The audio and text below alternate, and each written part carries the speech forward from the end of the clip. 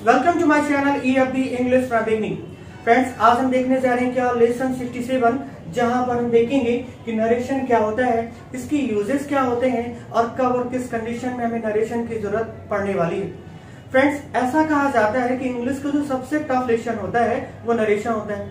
But I promise मैं आपसे वादा करता हूँ कि अगर आपने नरेशन की पूरी सीरीज़ देख ली तो आपको नरेशन बिल्कुल कठिन नहीं लगेगा, वो आपको बहुत इजी लगने लगेगा।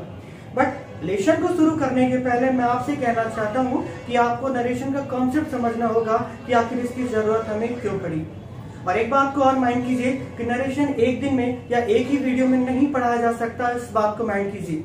नरेशन के जो रोल्स होते हैं ना, वो रोज के रोज एक दूसरे से जुड़ते जाएँगे, यानी प्लस होते जाएँगे। और आप ऐसा नहीं कर सकते कि आप बीच का वीडियो उठाकर देख लीजिए और आपको नरेशन समझ में आ जाए। आपको पूरी सीरीज़ उसकी आवाज़ करनी होगी। यानी लेसन नंबर अगर 67 से नरेशन स्टार्ट हुआ है तो जब तक वो खत्म हो जाए, तब तक आप उसको वॉच करते रहिए। आपको नरेशन बड़ी ही आसानी से समझ में आ जाएगा। तो फ्रेंड्स बात करते हैं पहले कि हमें नरेशन की ज़रूरत क्यों पड़ी और इसका कॉन्सेप्ट क्या होता है। तो इंग्लिश का एक वर्ड होता है क्या? नरेट और नरेट का मतलब होता है क्या? बयान करना, यानी कहना। और नरेट से बन गया क्या हमारा? नरेशन जो कि मैंने लिखा है N A double R A T I O N अब ये जो हमारा नरेशन है ना, ये दो प्रकार का होता है। एक तो होता है हमारा क्या? डायरेक्ट और दूसरा हमारा क्या होगा? इनडायरेक्ट इसको हम लोग डायरेक्ट नरेशन या फिर डायरेक्ट स्पीच और इसको हम लोग क्या बोलते हैं? इनडायरेक्ट नरेशन या इनडायरेक्ट स्पीच यानी नरेशन दो प्रकार का होगा। एक तो हमारा क्या हो जाएगा? डायरेक्ट नरेशन और दूसरा हमारा क्या हो जाएगा? इनडायरेक्ट नरेशन और इसको डायरेक्ट स्पीच और इनडायरेक्ट स्पीच के नाम से भी जाना जाता है। अब फ्रेंड्स बात करते हैं कि आखिर हमें नरेशन की ज़रूरत कब पड़ी? तो माइंड कीजिए, दो लोगों के बीच की बात है। जब उसको किसी और से शेयर किया जाए तो हमें नरेशन की ज़रूरत पड़ती है। मैं एक डायग्राम बना के आपको समझाने की कोशिश करता हूँ। इसको ध्यान से देखिए। सोचिए कि यहाँ पर दो व्यक्ति हैं, एक तो ये हो गया, और दूसरा व्यक्ति हमारे पास ये हो गया। अगर ये हमारा ए है, और ये हमारा क्या हो गया? बी हो गया। अगर ए बी से कुछ कहे, वो कुछ भी कह सकता है इस बात को माइंड कीजिए तो अगर ए बी से कुछ कहे, और बी उसी बात को किसी तीसरे व्यक्ति से शेयर करे, ये तीसरा व्यक्ति हो गया, जो कि हमारा क्या हो गया? सी तो बात को समझने की कोशिश कीजिएगा कि ए ने बी से कुछ कहा और बी ने उसी बात को किसको बताया? सी को बताया। और ऐसी कंडीशन जहाँ पर किसी की कही गई बात को कोई व्यक्ति है जो दूसरों को बताता है, तभी हमें नरेशन की ज़रूरत पड़ती है। सोचिए कि ए है और बी के पास आता है और वो कहता है कि you are a good player you are a good player ऐसा किसने कहा? ए ने कहा। और किससे कहा उसने? बी से कहा। अगर ये बी इस बात को यहीं पर खत्म कर दे, ये किसी को ना बताए कि ए ने उससे क्या कहा तो हमें नरेशन की ज़रूरत नहीं पड़ने वाली। लेकिन अगर ये बी एक ही कही गई बात को किसी और को बताएगा तो उस कंडीशन में हमें नरेशन की ज़रूरत पड़ने वाली है। तो इस बात को माइंड कीजिए कि जो ए ने बी से कहा था तो बी के पास दो ऑप्शन होंगे उसको बताने के लिए। जैसे सोचिए कि ए ने बी से कहा कि you are a good player तो यहाँ पर जो गुड प्लेयर है वो कौन होगा? ये बी होगा। होगा ना? तो अगर बी ने एक ही कही गई बात को एज इट इज़ किसी और को बता दिया तो वो हमारा कहलाएगा क्या? डायरेक्ट नरेशन इसको थोड़ा सा ध्यान से सुनिए और समझिए। कि अगर ये कोई लड़का है तो लड़का क्या होता है? ही होता है। अब सोचिए कि लड़का मेरे पास आता है और वो कहता है कि you are a good player ये जो बी था, वो कौन बन गया? मैं बन गया। तो मैं यहाँ पर क्या बन जाऊँगा? मी अगर इसी बात को मैं आपको बताऊँगा तो मैं आपसे यही कहूँगा ना कि उसने मुझसे कहा। अब उसने मुझसे कहा, ये सेंटेंस हमारा कहाँ का हो गया? पास्ट इंडेफिनिट का। उसने का मतलब किसने? इस लड़के ने। और इस लड़के के लिए मुझे क्या रखना होगा? ये लिखना होगा। तो हमने ये लिख दिया। और सेंटेंस क्या बन रहा तो सुनिएगा कि उसने मुझसे कहा तो मुझे यहाँ पर क्या लिखना होगा? सैड टू मी जहाँ पर ये सैड क्या है? से की सेकंड फॉर्म होती है। तो उसने मुझसे कहा, अगर ट्रांसलेशन मैंने कर दिया, और क्या बोला मैंने? ही सैड टू मी तो ध्यान दीजिए, ये बात एक ही कही गई बात मैं किसको बताने जा रहा हूँ? सी को बताने जा रहा हूँ। तो मैंने आप क्या बोला है सी से? कि ही सेड टू मी उसने मुझसे कहा। और क्या कहा था उसने? You are a good player और जितने शब्द उसने यूज़ किए, जैसा उसने यूज़ किया, जैसा स्टेटमेंट उसने मुझे बताया या फिर मुझसे बोला, मैंने उसके शब्दों में कोई बदलाव ना करके सी को बता दिया। तो उसने कहा था you are a good player और ये सारी चीज़ों को मैं यहाँ पर कॉपी करने जा रहा हूँ, उसको ध्यान से देखिए। You are a good player देखिए ध्यान से मैंने क्या लिखा है कि you are a good player इस इन्वर्टेड कॉमा के अंदर।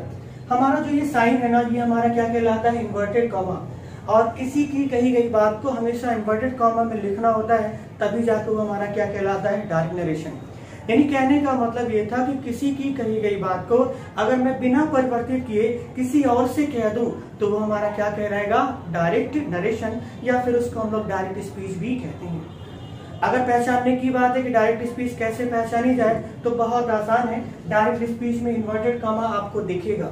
और इसी इन्वर्टेड कामा को हटाने का मतलब होगा क्या? इनडायरेक्ट स्पीच में उसको बदल देना। तो माइंड कीजिए कि अगर मैंने एक ही कही गई बात को सी को बताया, लेकिन मैंने उसके किसी भी शब्द में, किसी भी प्रकार को कोई परिवर्तन नहीं किया तो वो हमारा क्या कहलाएगा?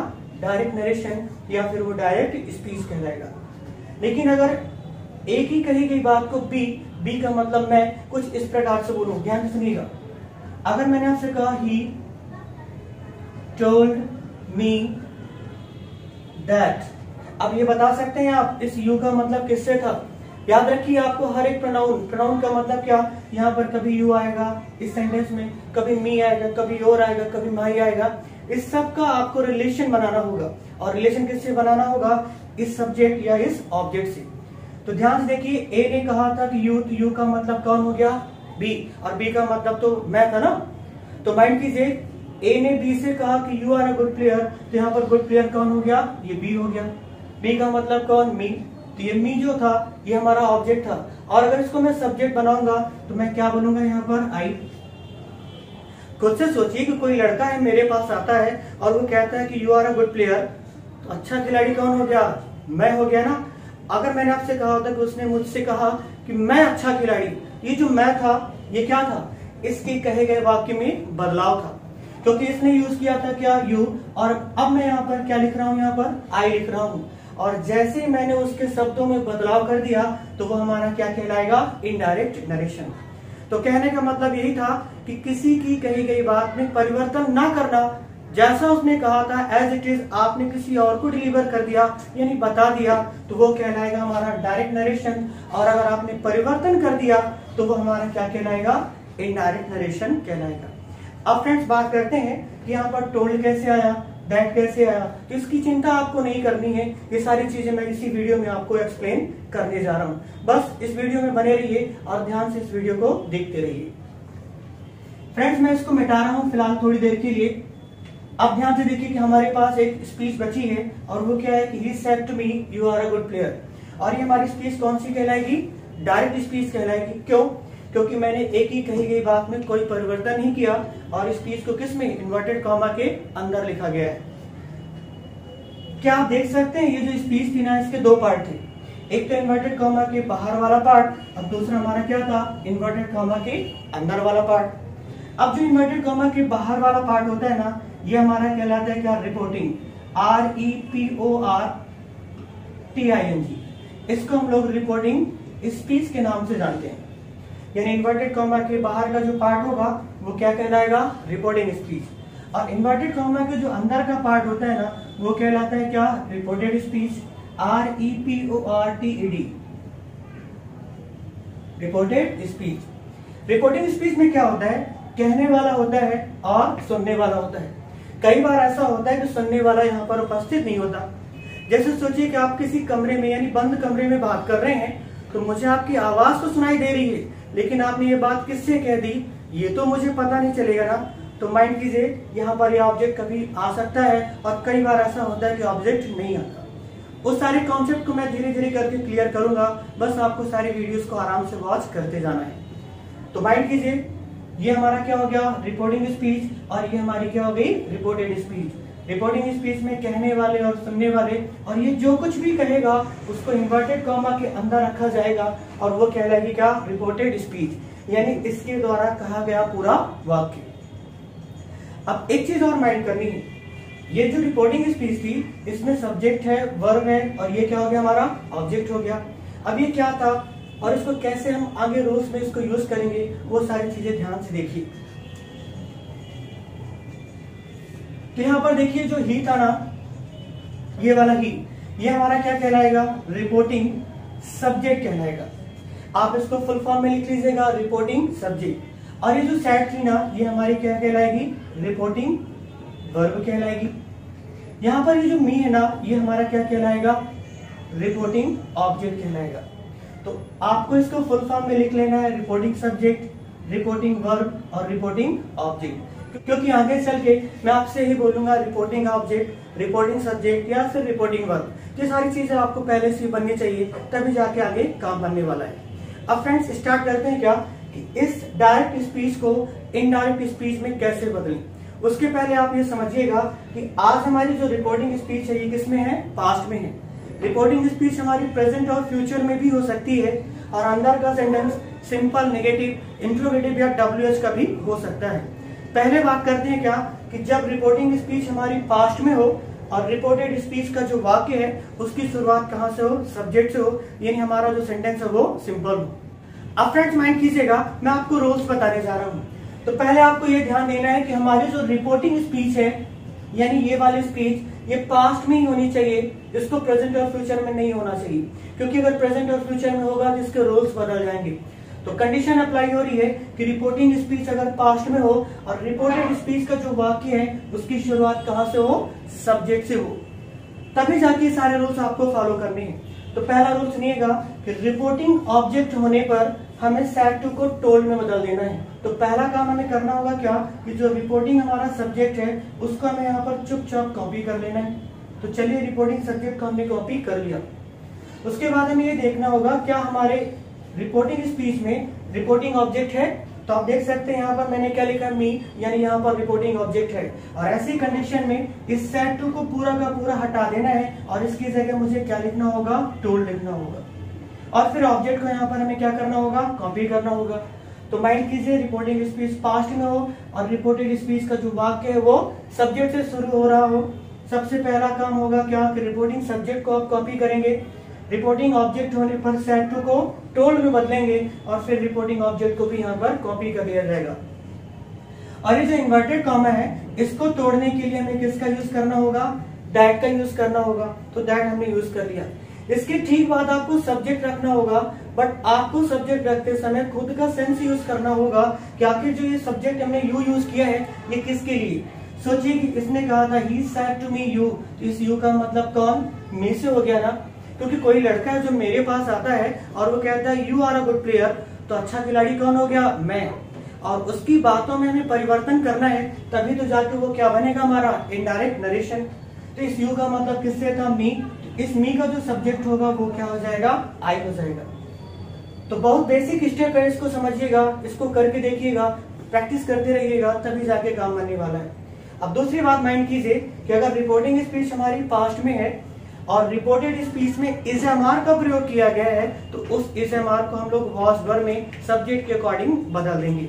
अब देखिए, यहाँ पर मैंने आई तो लिख दिया, अब यहाँ पर क्या लिखा था? आर लेकिन यहाँ पर आपको एम नहीं लिखना होगा, क्योंकि आर को हमें वॉज़ वर में बदलना है। और आई के साथ क्या लगाना पड़ता है? वॉज़ यहाँ पर क्या लिखेंगे हम लोग? वॉज़ और उसके बाद क्या हो जाएगा? गुड तो आप ध्यान से देखिए ये हमारा क्या था? डायरेक्ट स्पीच और ये हमारी क्या होगी है? इनडायरेक्ट स्पीच बस नरेशन में हमें यही पढ़ना होगा कि हर बार हमें डायरेक्ट स्पीच मिलेगी और उसको इनडायरेक्ट स्पीच में हमें बदल देना होगा। अब एक एग्जांपल मैं आपके सामने और लिखने जा रहा हूँ, इसको भी ध्यान से सुनिएगा और समझिएगा। तो अगर मैंने आपसे कहा होता सी सैट टू मी यहाँ पर ध्यान से देखिए। अब बात फिर से हो रही है, लेकिन कोई लड़की है जो कि मुझसे बात कर रही है। और वो क्या कह रही है? She said me I am a good player I am a good player तो क्या आप बता सकते हो कि यहाँ पर जो अच्छा खिलाड़ी है, वो कौन है? इस आई का मतलब क्या होगा? सी से होगा।